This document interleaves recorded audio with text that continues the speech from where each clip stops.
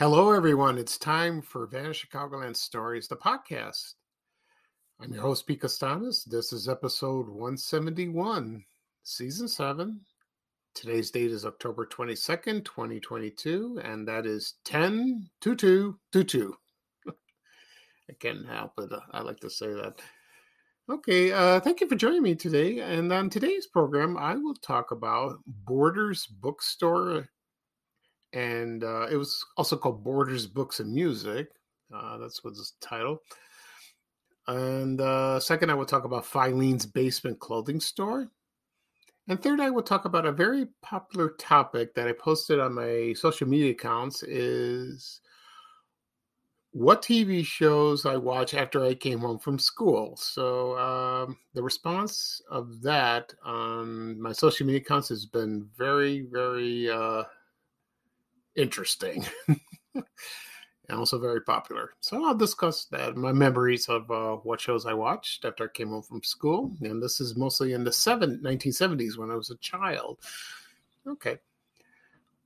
Right now, the program will go into a commercial break. And this program is brought to you by Golden Griddle Pancake Syrup. And uh, I remember this very well. So here's a commercial from the 1970s, probably around 75, 76, 1975, 1976. And uh, so sit back and enjoy, everyone. Thank you. Nature put the drip in syrup. We found a way to keep the flavor and stop the drip. Announcing Golden Griddle, the first maple-rich syrup with a push-pull top made not to stick or drip. Golden Griddle just squeeze and pour, squeeze and pour, squeeze and pour without losing one mapley golden drop. Golden Griddle. We took out the drip. Okay, everyone, I am back. I hope you enjoyed the commercial for Golden Griddle pancake syrup. Uh, like I said before, I remember this product very well, and the advertisement on television. Um, when I was a kid, uh, my mother did buy this syrup, and it was very good. Uh, other syrups she bought, you know, pancake syrups, you know, for waffles and French toast, was uh, Log Cabin. They made butter flavor. Remember that? And also uh, Mrs. Butterworth. and uh, also Aunt Jemima, which is not called that anymore. It's called Pearl Milling. Well, well, let's not get into that. I still call it Aunt Jemima, and I think most people will still do that to this day. And uh, Golden Griddle, uh, I don't see it in the stores anymore.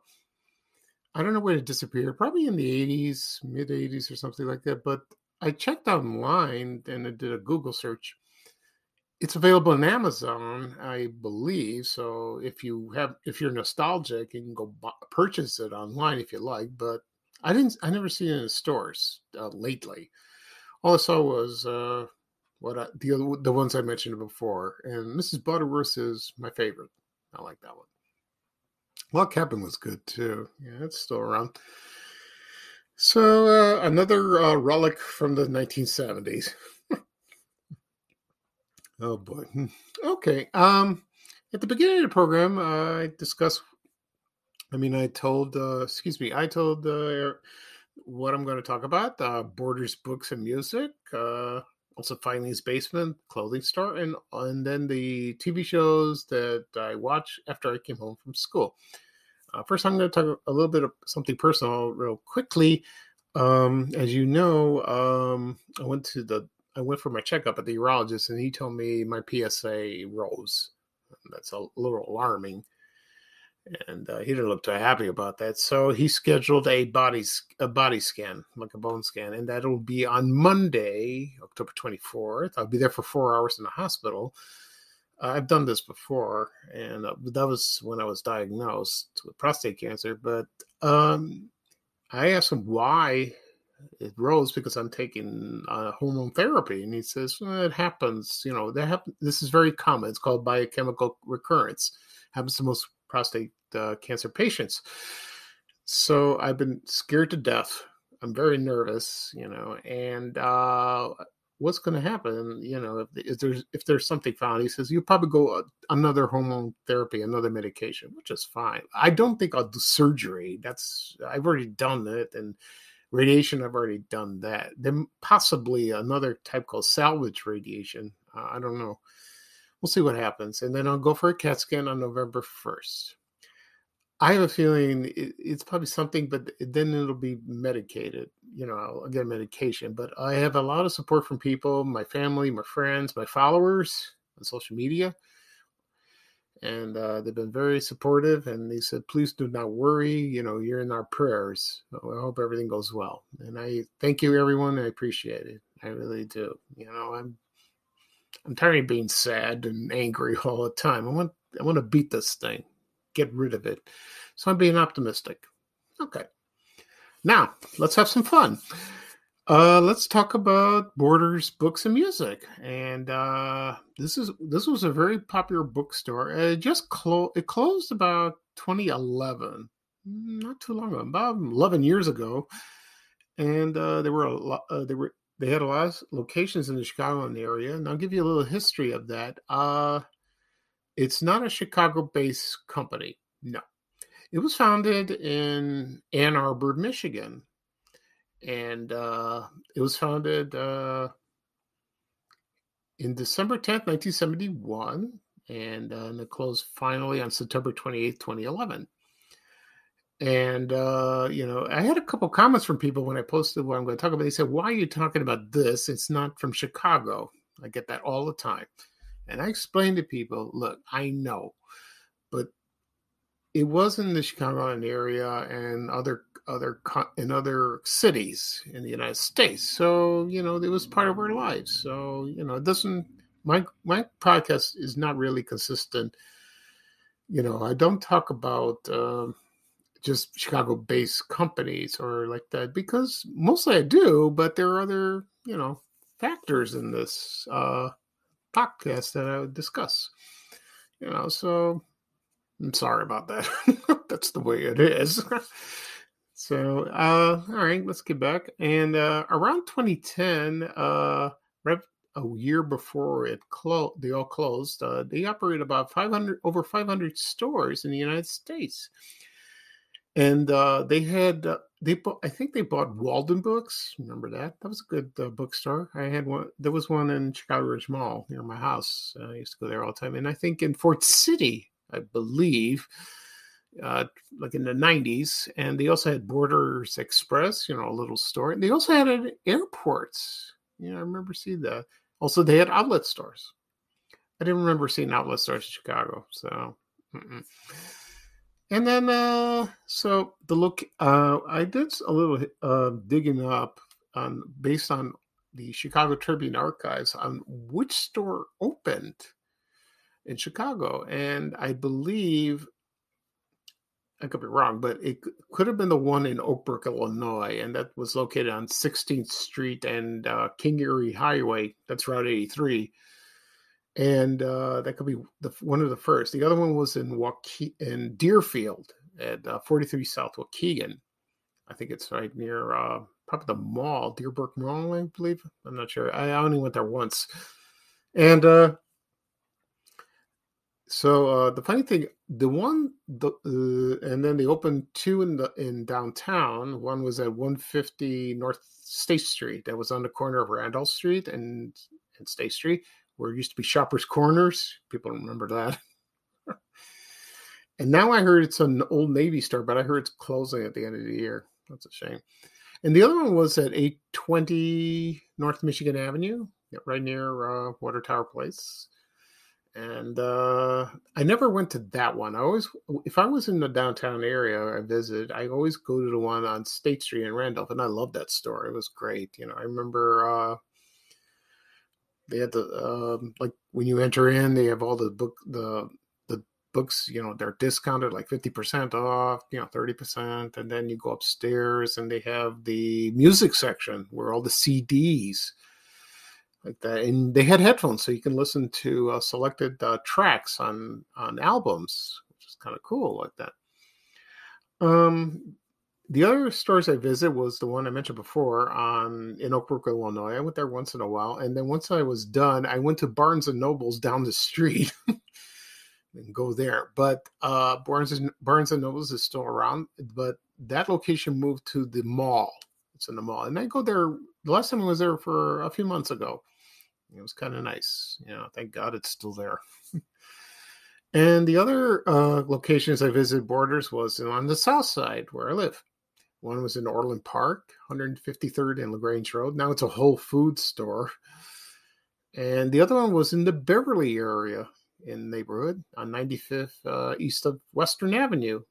That one I liked a lot. That was a big store, but now it's it's closed. I don't know what's occupied there. Last I heard, it was a Halloween store. you know, the famous Halloween store, you know, for costumes right around Halloween. And uh, usually when I go into a border store, uh, I walk in, I look around, I, I head to the magazine section because I reading magazines, and they had a wide selection. They had uh, even imported magazines. They did that. I looked at uh, movies, television, technology. They had a, a uh, big sports section of that. A lot of sports magazines. Also, the adult magazines. They're wrapped in plastic. I remember that. Excuse me and uh, would look around. I would go to the biography section. Then I would go to the television section because I'm a huge fan of TV, and I would look for books about television. I did that. Also, hobbies are like uh, like uh, like collectibles. You know, I'll do that. And uh, next, I would. Uh, so they had a coffee shop you know, I don't remember Starbucks. No, I don't think they had that. And then they had uh, seats so you can sit around and read. You could do that. And they sold calendars. I like that. And uh, then you go to the music section and uh, you would listen to tracks, you know, with the headphones. Uh, they get a lot of CDs. Now, you know, the uh, now you just uh, download songs on your computer. Uh, but I have I have still have a CD collection. Uh, if I want to find something rare, I'll go go to a store, you know, like a regular store. It still exists like that. And uh, so I do browse. So I love to browse and I like to read, and I sit down like for a few hours. It's just very relaxing. All the stress goes away like that, and it's beautiful. You know, nobody bothers you and all that. And uh, let's see what else at the store. Yeah, they had coffee. Uh, sometimes they had live entertainment and uh, also book signings. You know, famous celebrities had rare book signs there. Uh, it's just like Kroch's and Brentano's, like in the in the old days. They had that, which was a big deal at uh, at the at the Loop, you know, downtown Loop location. They had that, and uh, so um, unfortunately, it closed in 2011. There were other locations uh, besides the ones I mentioned. So I think I found a few, and here it is. Uh, some was one. There was one on North and Halsted, also on Diversey and Clark in the Lakeview neighborhood, also in the Uptown neighborhood at uh, Lawrence and Broadway, and also at the Lincoln Village Shopping Center that's on Lincoln Avenue, right near um, Peterson or by Devon. You do that. I'm sure there were other locations uh, that I didn't mention. Uh, probably one in Wheaton, Illinois. Remember that? Uh, Wilmette. Um, if you want to comment, uh, if you know, if you think of other locations, please do that. Um, that's all I can. That's all I have. And uh, so it's a shame because I love, like I said before, I love going to bookstores and I have a lot of fun, you know. And uh, thank God we have Barnes and Nobles still there. Oh, please stay open. Please stay open. You know, I mean, a lot of people claim that Amazon killed the book that uh, killed that bookstore. Maybe it's true, maybe it's not. I can't prove it, but uh, you know, I like to order a book on Amazon. I just did about a week ago, and because I would never find it in the store, but I like something physical to read. I want to read that. You lie, you know, you lie down, you sit in a chair, or you're in bed. You want to read before you go to sleep. That's what's that's what's very nice about it. You know, young people don't get it. They just look at their tablets. It's not the same. you know, I can't do that. okay. Um, next up, we I have Filene's Basement. Now, here's another store that was not based in Chicago. It was based in Massachusetts, and that was founded in 1908. Headquarters was in Burlington, Massachusetts, and it was a clothing store. It was a chain. Um, and uh, here's my memories of this particular store. Uh, about 1991, I went to Boston and with my mom, we visited relatives there for the first time. She hasn't seen them in years, ever since she was a child. And they asked us to go visit there. And I said, okay. Then we went to Midway Airport. We flew Midway Airlines. Remember that? I'll talk about that someday. And we arrived at Boston and we stayed there for about a week. You know, and it was a nice trip. Uh, I should go back. I love I love Boston. It's a nice city. And uh, my my uh, my aunt mentioned about Filene's basement. I never heard of this store at all. And I go, "What is that?" And, and she says, "It's a clothing store." So um, they went to the, my, she took. Uh, I went with my mom and her, you know, and uh, her husband drove us there to the mall nearby. Uh, they live in Lynn, Massachusetts, and uh, I don't I forget where the mall was located, probably nearby. And I saw Filene's basement there, and also Jordan Marsh. Uh, I think that's gone. That's their East Coast uh, store. It's like Marshall Fields, like Macy's. And uh, there was Filene's basement. And I said, "Oh, they had a green sign. It looked nice." Okay, and I totally for, forgot about that. And then all of a sudden, in the same year, uh, they opened one in Chicago and and that was uh, kind of a weird coincidence.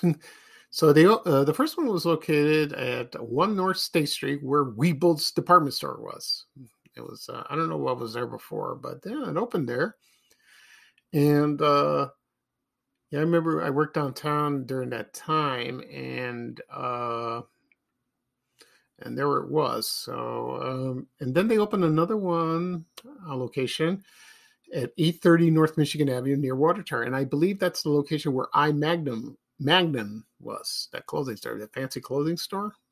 So that's kind of nice, like that. And uh, they then they uh, expanded.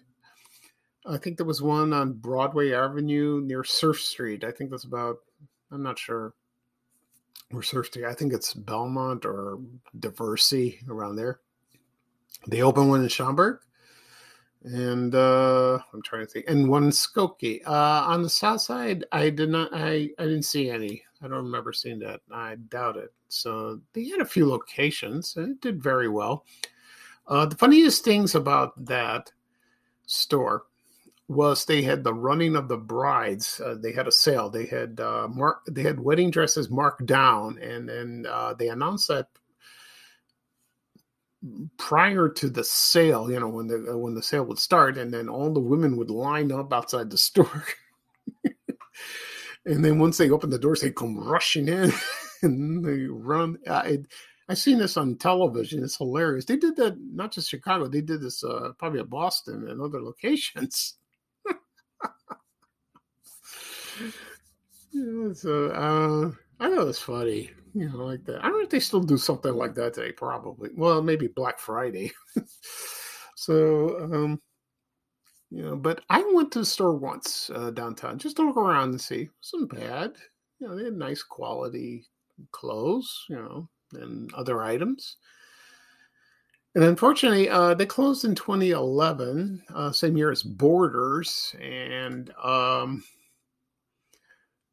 and also it, it, these they announced that and then uh, there was a company called Syms and uh, they bought that that's based in new jersey and they bought the the basement and then um, everything closed uh, everything closed down and a lot of people I've heard from the East Coast were very disappointed. They were so angry about that because they love the store. Yeah, I can understand like Marshall Fields here and uh, now it's online. If you want to buy something for Filene's Basement, you can go on your computer and uh, do online purchases.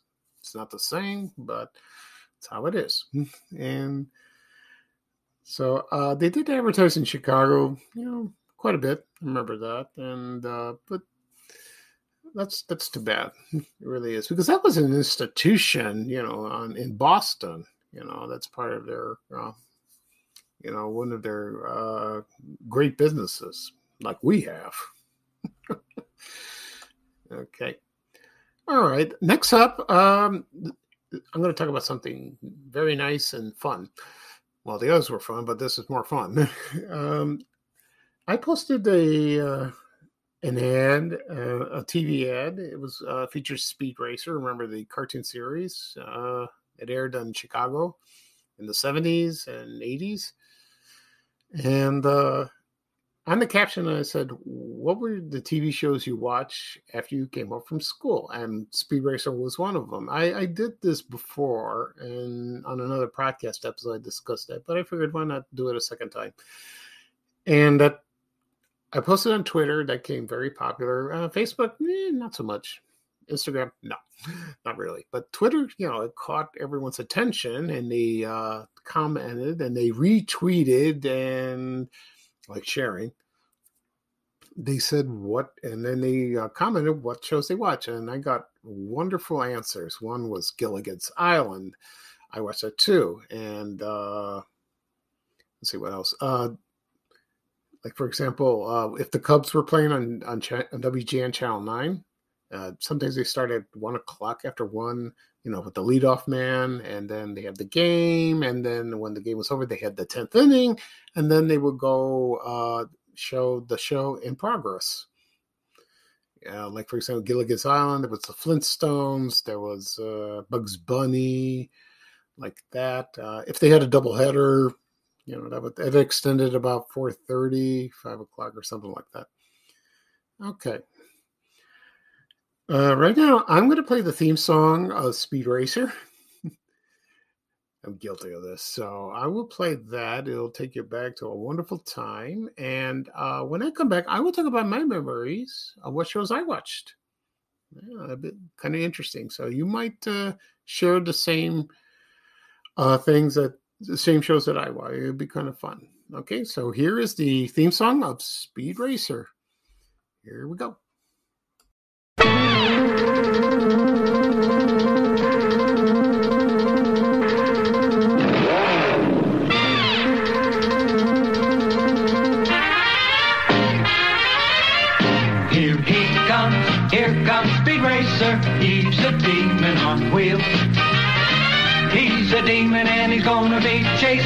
Someone. He's gaining on you, so you better look alive. He's busy revving up the powerful Mach 5. And when the odds are against him and there's dangerous work to do, bet your life's Speed Racer. See it through. Go Speed Racer, go Speed Racer, go Speed Racer, go! He's up and flying as he guns a car around the track. He's jamming down the pedal like he's never coming back. Adventure's waiting just ahead. Racer, go Speed Racer, go Racer, go!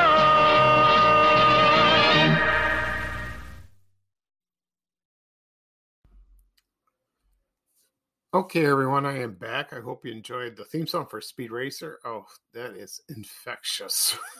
you can't get it out of your head.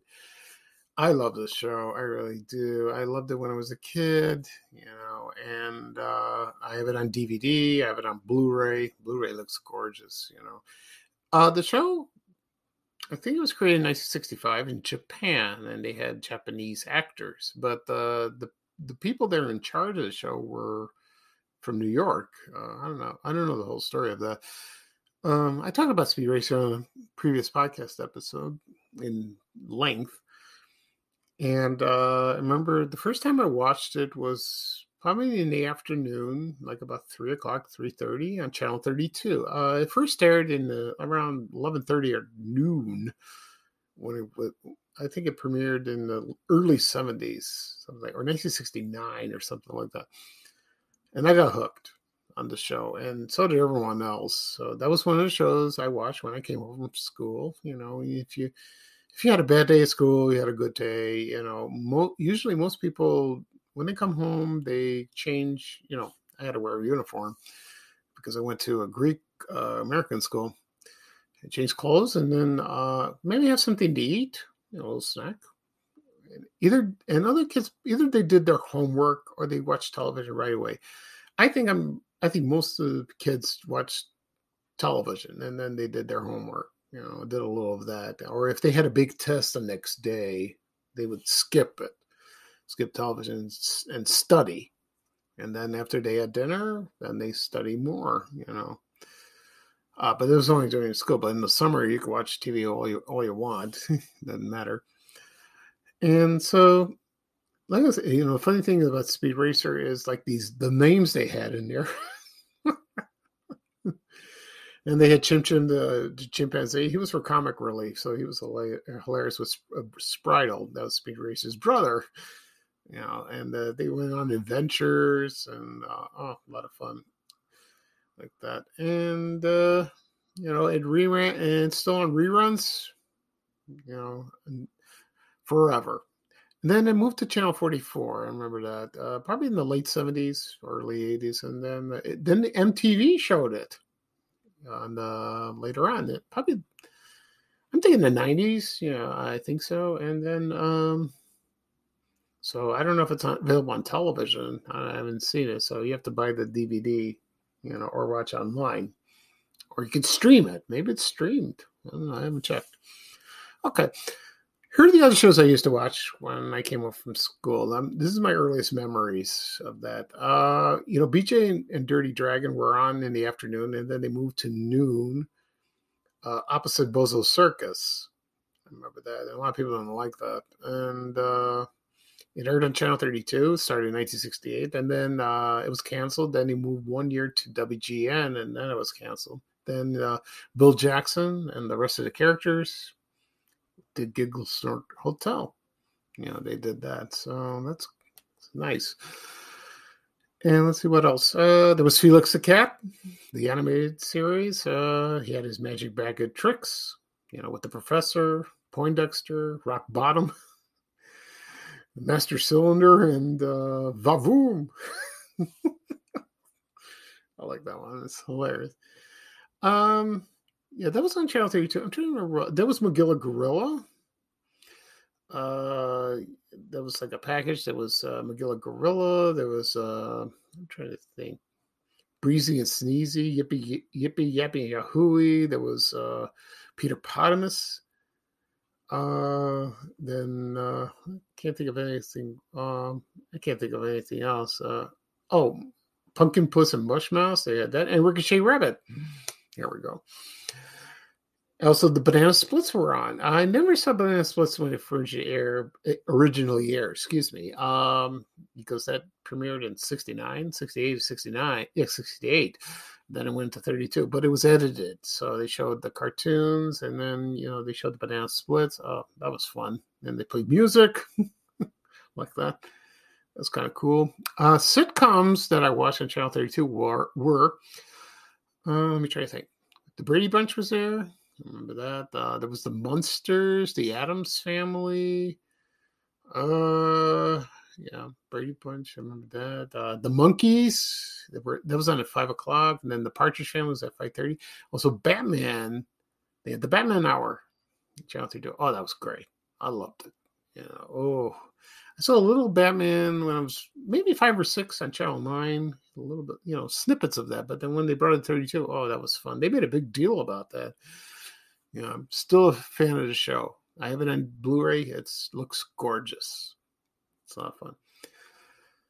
Uh, let's see what else. Uh, I'm trying to think. Also, they had the Three Stooges and Little Rascals. You know, they had uh, they had an hour of that. Um, my first time watching the Three was on Channel 9, and probably like Saturday morning. I caught a little of that. And then when they brought it into Channel 32, probably 75, 76, I think 74, 75, and they syndicated on Channel 32. And that was fun. That was great. Like that. Okay, and on Channel Nine, I watched Gilligan's Island. Uh, sometimes they had Bugs Bunny, and for the um, from five to seven, uh, the shows they had were Hogan's Heroes. Uh, the Andy Griffith Show. They had that, and also uh, the, the best lineup I liked was I Dream of Jeannie, Bewitched, Andy Griffith Show, and Dick Van Dyke. Dick Van Dyke was a classic at six thirty in the evening after dinner. I would watch that, you know, and uh, you know they had the Flintstones also in the afternoon. I remember Frazier Thomas hosted the Flintstones. He did that, you know. I remember the disem- heads, or how would you say that? Uh, the heads were uh, Fred, Barney, Wilma, and Betty in the back. he would introduce the episodes, you know, or on a commercial break. You know, I still love that. I have it on Blu-ray. Looks gorgeous. It's one of my favorites. And uh, let's see, know, I'm trying to think what else on Channel Nine. You know, like I said before, they had the Cubs game. You know, and then they would uh, then they would show what shows after that that was scheduled. On Channel 11, um, there was Sesame Street, also Mr. Rogers' Neighborhood. I didn't watch much of that, eh, but they had the Electric Company. I talked about that on a previous podcast about fest episode, not festival. That's a cool show. I like that, and I watched that. And they also had Zoom, but that was at six o'clock or six thirty. It was around dinner time. I, I talked about again on a previous podcast episode. That was fun. Of that. Let's see what else. And then, of course, we had Channel 44, WSNS, which, uh, of course, Speed Racer was on. They had Spider Man from the 1967 series. Oh, that was cool. With the jazzy music. Oh, I can't get that on my head. I love that show. They had The Adventures of Superman, uh, starring George Reeves. They had, uh, let's see what else. They had Leave It to Beaver at five o'clock. I remember that, and uh, they also had a show. It was uh, it was a man called Steve Hart or Stephen Hart. Yeah, Steve Hart. He had a puppet show, and uh, I don't remember I don't remember the puppet's name, but he presented Popeye cartoons. It was kind of cool. It was kind of nice. You can find those on YouTube uh, for fuzzymemories.tv. They, uh, Rick Klein uploaded some videos of Steve Hart, and he's on Facebook. You know, I just you know I found him. You know, so he's God bless him. He's still around. You know, he probably talk about this. I don't know what he does now. You know, and uh, let's see what else on Channel 44. I remember the the lineup. The when I came home from school, I was seventh or eighth grade, and I liked the lineup. That was um, at five o'clock was my favorite Martian. At five thirty was Hazel, and then at six o'clock was either Get Smart or Gomer Pyle. I remember that, and uh, so that was cool, you know. And then Channel 44 showed the White Sox games. You know, they broadcasted there with Harry Caray. Know, it's kind of nice. Uh, I can't think of anything else on Channel 4, but the other channels on, in Chicago, like Channel 2, Channel 5, Channel 7, uh, they showed mostly game shows or news. I don't think the new they had the news on, but they showed game shows or some sitcoms. Channel 7 showed the 330 movie if there was a good movie to watch. Uh, the first movie I watched on the 330 movie was Help uh, by the Beatles. I remember that was one of my first movies I watched on 330 movie. That's how I was introduced to them. I was very little. And uh yeah, it turns out I think it had a movie that uh also they had the Rockford Files. I remember that. And Barnaby Jones. also uh, like in um when I was when I started Bogan High School in 1977, they broadcasted the Mary Tyler Moore show at three o'clock, yeah, or four. It was four o'clock, I believe. I watched a little bit when I was little when it was on Channel Two, but then I used to watch the reruns every day, and I loved it. You know, that was uh, kind of nice. See Mary and Rhoda and all the gang. That's I have it on DVD. It's great, great show. So uh, you know that was a, that was a beautiful time. You know, when you were in school and you had a bad day, like me. You know, I was bullied or I didn't like the teacher. I hated homework and a little escapism. I just go home, turn on the television, and I entered that world. It's a beautiful world. but reality is important. So like that. But a lot of people I know had fond memories, you know, as their kids. They watched cartoons, they watched sitcoms, you know. We only had one TV set, you know, either black and white or color. You know, no DVRs, no VCRs, no streaming, nothing. Just that. Yeah, that was your choice. Uh, if you had one TV set, and, and if your brother or your sister want to watch another show, that's too bad. you fight over the the TV channel like that. That's how it was. Okay, that'll be all for today. Uh, I'll do a recap of today's show. Uh, I discuss Borders Books and Music Bookstore, also Filene's Basement Clothing Store, and of course my memories of TV shows I watched when I came from from school. That was a very interesting show. I enjoyed it. Hope you did too. uh, my next podcast episode, I don't know when I'll do one. I'll see, maybe tomorrow, maybe not. Uh, we'll see. I won't do one on Tuesday, which I usually do because I have some errands to get done. Also, Monday I have the go to the hospital. So we'll see what happens, and I'll probably do one next weekend. And I'll think of something very interesting to talk about. I hope you enjoy it. Okay. So this is Picastanas for Vanished Chicagoland Stories, the podcast. Thank you again for joining me. I hope everyone have a, beautiful, wonderful day. It's gorgeous outside. It's in the 70s. You know, I'm going to barbecue tonight. I'm looking forward to that. Probably the last barbecue for the year. and I'll do my walk, you know, which I've been, I resume my walking after about, you know, about a week or two. So it's a beautiful day to do it in the afternoon, get some exercise you know so i feel good about it. I really feel good. So fingers crossed. And i need your prayers. I'm praying too. Okay. So i'm signing off and here is ray rayner saying bye bye for now and with a little traveling music. So take care everyone. Bye bye we have to go. Bye bye bye